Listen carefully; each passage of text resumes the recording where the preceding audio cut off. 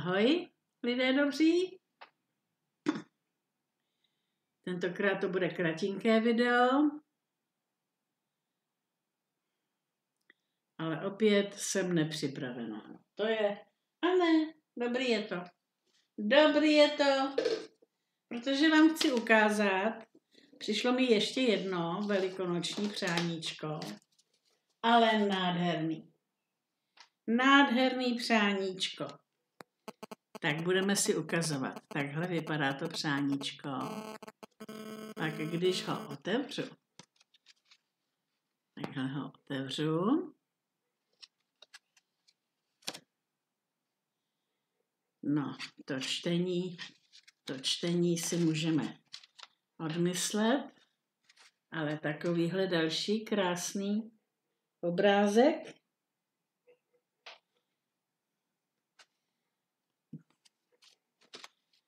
No a tenhle ten, tenhle ten obrázek ještě. Tenhle obrázek. Není to moc vidět, vidíte? No. Takže zavřít. A ještě jednou vám ukážu, jaké krásné přáníčko jsem dostala. Moc za něj děkuju. Pořád si ho prohlížím se zalíbením. Tak to bylo přáníčko. A mám tady tři otázečky. Paní Jana se mě ptá, jestli jsem žila celý život v Praze, nebo jsem se tam provdala. No, v podstatě vlastně celý život jsem žila v Praze, protože já jsem sice rozená pod Krušnýma horama, ale když mi byly čtyři roky, tak mě osud zavál do Prahy. A tam jsem zůstala až do svého důchodu. Maminka mi tady nechala malinký domek, a jak jsem se dostala do důchodu? Okamžitě hurá pryč z Prahy na venkov do toho domečku po mamince. A je mi tady blaze. Je mi tady blaze a kdykoliv přijedu do Prahy, protože jsou momenty, kdy tam teda opravdu musím, ale to není zas až tak často, tak eh, se tam necítím dobře. Já nesnáším davy lidí. Mě v tom opravdu, mě je v tom úzko v tom davu těch lidí. A e, to, co se stalo s místem mýho bydliště, kde jsem bydlela 43 roku, no to je úplně něco jiného, všechno je to úplně někde jinde, než co jsem tam prožívala já. A prostě nová doba, a ta mi nesedí. Já tu novou dobu nejsem schopná zkousnout. No, tak. Starýho psa novým kouskům prostě ne, ne. Ale tady na venkově, tady je mi blaze. Tady je mi blaze a díky bohu za ten důchod a já si to užívám. Já si to úžasně užívám. Takže paní Ano, tak, Paní Karla se mě ptá, jestli jsem si připadala u nás nebo v cizině někdy jako Alenka v říši divů. No, otázka je to pěkná, ale v podstatě asi tolik jako Alenka v říši divů, tolik ne. Ale zážitky mám, zážitky mám nádherný. A to z Itálie. Byla jsem tam dvakrát a vždycky jsem, jsem si to vychutnávala. Poprvé jsem tam byla ze zaměstnání s takovou skupinou.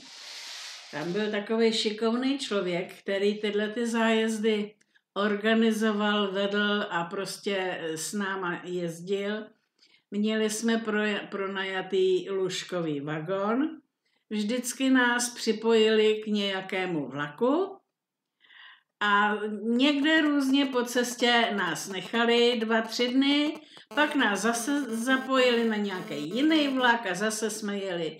A to jsme jeli vlastně přes Vídeň do Itálie, tam jsme to ze zhora projeli dolů, jeli jsme tím, teď si na to nespomenu, taková ta obrovská loď, co spoliká i auta. No. Nespomenu si, mám to na jazyku, ale nespomenu si. Tra, trajektem, trajektem jsme jeli na Sicílii.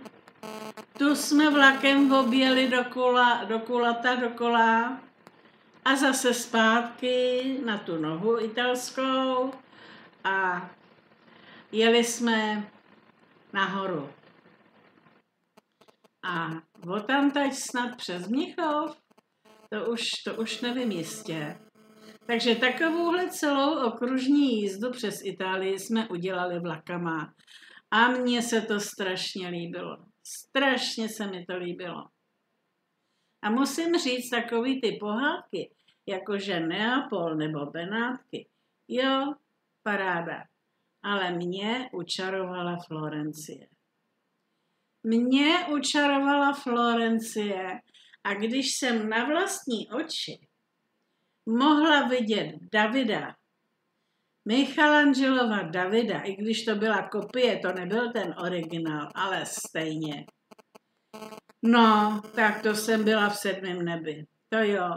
A pak nás zavedli na ten slavný Zlatý most. Most přes řeku, který byl lemovaný z obou stran zlatnickýma krámkama. Žádný jiný tam nebyl krámek, jenom všechno zlatnictví. A já, stará straka, mě přecházely oči. Takových krásných šperků. No, úžasného něco. Samozřejmě, že jsme byli i v Římě, ale Řím ten mě teda tolik neučaroval. A byli jsme samozřejmě taky pod eh, Vlčicí, která odchovala Romula a Rema. Já jsem si tu sochu představovala velikou. A ona je taková malinká, na, sloup, na sloupu tam stojí. A eh, najednou takového něco malého a já jsem měla v představě něco velkého. To jsem byla teda zklamaná tou vlčicí, no. No, takže to byl, no a potom jsme byli po druhé v Itálii. To nás eh, pozval eh, jeden pan farář a náš pan farář vzal mě s Jardou a ještě jednu paní s dcerou a jeli jsme autem. A jeli jsme eh, do Cunea a to je sever Itálie.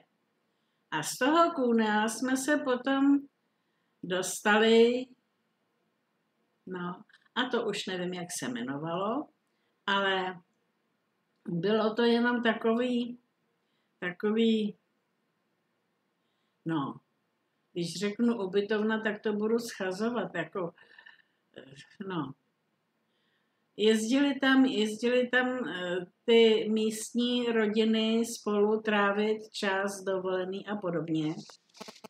No a pak tam byla velká kuchyň a taková společenská místnost, ale hlavně se chodilo po výletech po těch horách. A na tom jednom výletě byla široká, mírně do svahu stráň a po té stráni tekly prameny vody. To byly ani snad ne potůčky, to bylo jako když po té ploše té stráně nahoře někdo pouští vodu. To eh, tam, jak říkám, to nebyly potůčky, to prostě po celé té stráně tekla ta voda dolů. No to se mi tak líbilo. No a ty procházky po těch horách, moc pěkný. Moc pěkný zážitek z toho mám. Tak to byla, to byla Itálie. No. tak byla jsem ještě i někde jinde, ale ta Itálie a po dvakrát, ta mi zůstala hodně jako ve mně. Na to moc ráda vzpomínám. No a poslední třetí otázka. Měla jste někdy touhu podnikat? No, to je otázka. Touhu snad ani ne, ale zvědavě to zkusit, jako to ve mně bylo. To bylo krátce po převratě, když se to tady všechno e, míchalo a mlelo a kolotalo, tak jsem to chtěla taky zkusit. Jenomže s čím? Tak jsem si vymyslela, a to byla taky takhle doba před Velikonocema. A my s dcerou hrozně rádi děláme kraslice. Ty jsem vám ukazovala, tenkrát ty smršťovací folie ještě nebyly, ale dělali jsme ty voskové kraslice. A každý rok jsme malovali a malovali. Nás to strašně bavilo. Seděli jsme spolu u stolu, povídali jsme si a malovali. Tak jsem namalovala misku těch kraslic. Zařídila jsem si živnosták. Na jednom nádraží v hale jsem si zařídila místečko. Tam jsem si dala malinký stoleček, protože jsem nepotřebovala velkou plochu. K tomu židli a na ten stoleček tu misku s těma kraslicema. Říkala jsem si, nádraží, tady přijíždí vlaky, to půjde ráz na ráz. Dala jsem si tam vázu s kočičkama a jako dekoraci jsem si tam k té váze posadila mončičáka. No. Přišla tam po, když jsem tam seděla asi půl hodiny, přišla tam ke mně holčička, povídala si se mnou, prohlížela si ty kraslice, vyprávěla mi o sobě. A když už potom potřebovala běžet domů, tak nesměle mě poprosila, že nemá žádný penízky, ale že by si moc přála jednu tu kraslici. No tak, nedejte holčičce kraslici. No, o tu jednu kraslici neschudnu. Tak jsem jí tu kraslici dala. Holčička byla šťastná a odběhla. A co chodili lidi, jakože na vlak anebo od vlaku? Přišli, pokoukali a každý, každý se ptal, co stojí ten mončičák. No, toho jsem jim neprodala, tak zase šli. No, já jsem tam tenkrát snad prodala jenom, já nevím, tři nebo čtyři vajíčka. Nic moc. No a pak jsem to nakonec teda všechno zbalila a šla jsem domů. A že už v tom pokračovat nebudu. A spočítala jsem náklady, výdaje a zisk. A víte, kolik jsem měla zisk? Minus 50 korun. No, tak taková já jsem obchodnice rozená. Maminka, když to viděla, tak říkala, holka, ty opravdu do toho kšeftu nejseš. Ukaž, dej mi jednu, jednu, jedno pouzdro s deseti kraslicema. A šla. Šla na kerlák a vrátila se a dala mi dvě stovky. Tak, Maminka mi ukázala, jak se to má dělat, ale já jsem se to stejně nikdy nenaučila. Já prostě to nemám v sobě. Kšeftařem se musí člověk narodit. To musí mít někdo v sobě, jinak to nejde. Jinak to nejde. To se prostě naučit nedá. To s tím se musíte fakt narodit. No, takže to bylo moje podnikání. A stačilo. Tak, lidé dobří, Otázky jsem odpověděla, přáníčkem jsem se pochlubila, už je dneska byla sobota a zítra máme vzkříšení. Moc se na to těším. Mějte se všichni moc hezky. Děvčata, na pondělí hodně spodniček vám radím a chlapcům radím, buďte jemní, nebuďte tvrdý, musíte, musíte jenom tak jemňonce, jenom tak, že jako, no. Tak, mějte se pěkně, užijte si krásné svátky. A ahoj.